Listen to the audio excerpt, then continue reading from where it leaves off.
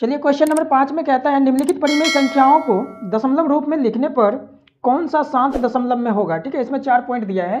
निम्नलिखित परिमेय संख्याओं को दशमलव रूप में लिखने पर कौन सा शांत दशमलव होगा? ठीक है, चार को पॉइंट दिया है, चारों को हमने पहले लिख दिए ताकि वीडियो का टाइम ज़्यादा ना हो। चलिए हम बनाते हैं सबसे पहले, पहला को उस तरह से सब चारों तीनों बन जाएगा। ठीक है तो इसमें क्या कहता है? शांत और अशांत को सिर्फ़ चूज़ करना है। अब किस तरह से चूज़ करेंगे? तो ध्यान देंगे कि कोई भी संख्या में अगर हम भाग देते हैं तो नीचे में उसका गुणनफल अगर दो आ जाए तो पूर्णतः वो क्या होगा? शांत होगा। दो रहेगा तो पूर्णतः कट जाएगा। अगर पूर्णतः कट रहा है तो शांत हो जाएगा। ठीक है? अगर कोई भी संख्या में पाँच से भाग दे रहे हैं तो भी शांत होगा। ठीक है? अगर x में नीचे में दो गुना पाँच के रूप में आ जाए तो भी शांत होगा। अगर इसके अलावा कुछ और आता है, तब क्या हो जाएगा? अशांत हो जाएगा। ठीक है? तो चलिए एक नंबर में पहले हम बनाते हैं, क्या कहता है? दिया गया है, क्या दिया गया है? दो बटे ग्यारह, ठीक है? तो यहाँ पे लिखेंगे हर बराबर हर बराबर क्या है? हर इसका कितना है? ग्यारह है ना? तो अगर हम ग्यारह का गुणनखंड करेंगे, आप लोग यहाँ पे साइड में कीजिएगा, जैसे कि ग्यारह का गुणनखंड करते हैं तो ग्यारह तो ग्यारह को एक ही बार में काटेगा ना? तो यानी कि हम जब हम यहाँ लिखेंगे टोटल यानी कि दो बटे ग्यारह को हम की लिख सकते हैं? दो बटे ग्यारह के पावर एक। तो अब देखिए तो यहाँ पे पावर ग्यारह के एक आ गया, ठीक है? तो अगर नीचे में दो आता, चाहे पाँच आता, या पाँच, दो, दोनों एक साथ आता, तब उस कंडीशन में क्या होता है? ऐसा संख्या शांत होता है, ठीक है? अभी देखिए, यहाँ पे नीचे में ना तो दो है, ना पाँच है। यहाँ पे कहने का मतलब दो और पाँच, दो रहेगा तब शांत होगा, पाँच रहेगा तब शांत होगा, और दो गुना पाँच के रूप में रहेगा तो शांत होगा, ठीक है? लेकिन ऐसा है, नहीं है क्योंकि क्योंकि यहाँ पे ग्यारह का आ गया है ठीक है? इसलिए यह क्या हो जाएगा? अशांत हो जाएगा। तो हम इसको भाग विधि से भी चेक कर लेंगे, ठीक है? तो इसको क्या हम लिख सकते हैं? अशांत होगा, ठीक है? अशांत दशमलव होगा। अशांत दशमलव ठीक है? अशांत दशमलव हो जाएगा। अब देखिए, इसको अगर हम चेक करेंगे कि किस तरह से पूर्णतः कटता है या नहीं कटता है तो आप चेक कर सकते हैं। जैसे कहने का मतलब कि ग्यारह से दो में भाग देना है, ठीक है? अब देखिए ग्यारह से दो तो छोटा है। किस तरह से ये इसको हम भाग देंगे? सबसे पहले तो हम पॉइंट मारेंगे तो क्या होगा? ज़ीरो आएगा। अब देखिए, इसको हम खिलाएँगे तो दो बार में तो बाईस हो जाता है। खाएगा नहीं, कितने बार में खाएगा? एक बार में खाएगा। ठीक है? जैसे एक खिलाएँगे तो कितने होगा? ग्यारह। फिर जाकर के यहाँ पे कितना बच जाएगा? नौ। ये वाला कैंसिल हो गया। पॉइंट दे दिए तो ज़ीरो हमेशा आएगा। यहाँ पे ज़ीरो आ गया। तब कितने बार में खाएगा? ग्यारह अठे अट्ठासी ठीक है? यहाँ पे अट्ठासी खिलाएँगे। तब कितना बचेगा? दो। फिर ज़ीरो आ जाएगा। सेम प्रक्रिया फिर रिपीट होते रहेगा, ठीक है? अठारह अठारह, डॉट डॉट डॉट, ऐसे चलते रहेगा। तो ये क्या पूर्णतः कट रहा है? नहीं कट रहा है ना? इसीलिए ये संख्या को क्या बोलेंगे? अशांत बोलेंगे, ठीक है? एक तो चेक किया, बाकी सबको इसी तरह से डायरेक्ट बना देंगे, ठीक है? यहाँ पे क्या दिया गया है दूसरा में? पाँच बटे नौ, ठीक है? पाँच बटे नौ दिया है। इसमें हर कितना है?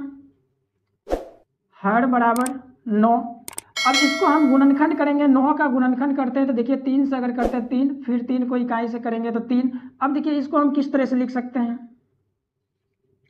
पाँच बटे नौ को हम किस तरह से लिख सकते हैं? पाँच और तीन के पावर दो। अब देखिए इसका भी कंडीशन क्या होगा? अशांत होगा, क्योंकि इस मतलब फॉल रूल को फॉलो नहीं कर रहा है। यानी नीचे में दो रहता तो क्या होता है? शांत होता नीचे में पाँच रहता तो भी शांत रहता, नीचे में दो गुना पाँच के रूप में रहता तो भी शांत रहता, लेकिन ऐसा है, नहीं है, नीचे में क्या है, तीन है, इसीलिए क्या हो जाएगा? अशांत अशांत दशमलव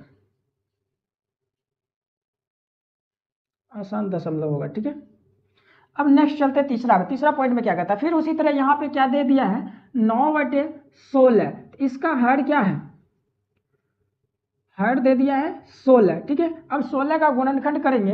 अगर हम यहाँ पे सोलह का गुणनखंड करते हैं तो देखिए कितने बार में कटेगा आठ, फिर दूस काटेंगे चार, फिर दूस काटेंगे दो, फिर दूस काटेंगे एक। कितना बार में काटा? एक, दो, तीन, चार। चार बार में कटा है तो इसको हम किस तरह से लिख सकते हैं? यानी कि नौ बटे सोलह को हम लिख सकते हैं नौ बटे दो के पावर चार। इस कंडीशन में देखिए, दो के पावर चार आ गया है तो इस कंडीशन में क्या होगा? शांत होगा। क्या होगा? यानी कि पूर्णतः ये कट रहा है। कहीं ना कहीं जाकर के अस्थाई हो गया है, यानी कि रिपीट नहीं हो रहा है। तो इस कंडीशन में क्या होगा? शांत दशमलव होगा।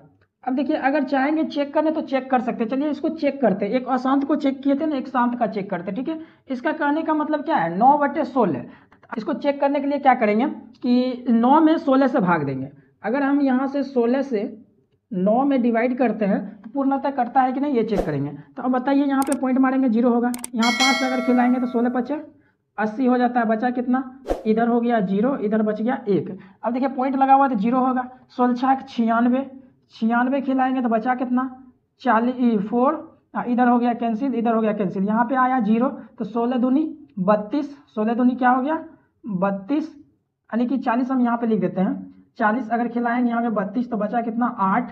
अब यहाँ पे पॉइंट लग चुका है तो क्या हो जाएगा? ज़ीरो। तो सोलह पचे अस्सी। कितना बार में खा रहा है? पाँच बार में अस्सी। यानी कि ये देखिए पूर्णतः कैंसिल हो चुका है। यानी कि ना, zero point zero point five से फाइव सिक्स टू फाइव तक में ये क्या हो गया? पूर्णतः डिवाइड हो गया। ठीक है?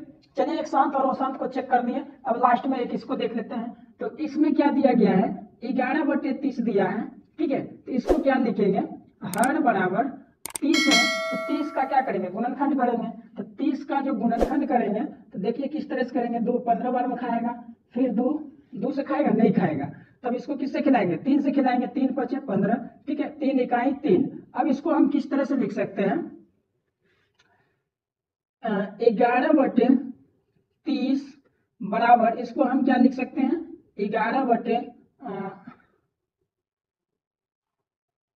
ग्यारह बटे की हो जाएगा दो गुना, और तीन के पावर की हो जाएगा। तीन के पावर दो हो जाएगा ना, दो बार गुना है तो पावर दो हो गया। अब देखिए, इस कंडीशन को फॉलो कर रहा है। नीचे में देखिए, दो रहता तो जग शांत होता, पाँच रहता तो शांत रहता, दो गुना पाँच रहता तो शांत रहता। लेकिन यहाँ पे क्या कर रहा है? तीन आ गया। तो तीन आ गया, ऐसा कंडीशन में क्या होगा? शांत होगा? नहीं होगा। तो क्या होगा? अशांत होगा। लिखेंगे और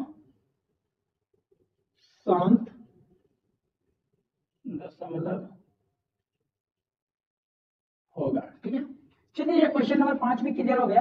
और वीडियो आप लोग को पसंद आ रहा है तो प्लीज़ आप वीडियो को लाइक करें और शेयर करें। पहली बार इस चैनल पर आए तो प्लीज़ आप सब्सक्राइब कर लें, ठीक है? नोटिफिकेशन बेल आइकन को दबा दें ताकि नेक्स्ट वीडियो देखने अपलोड करें, आप लोग को पता चल जाए, ठीक है? Thank you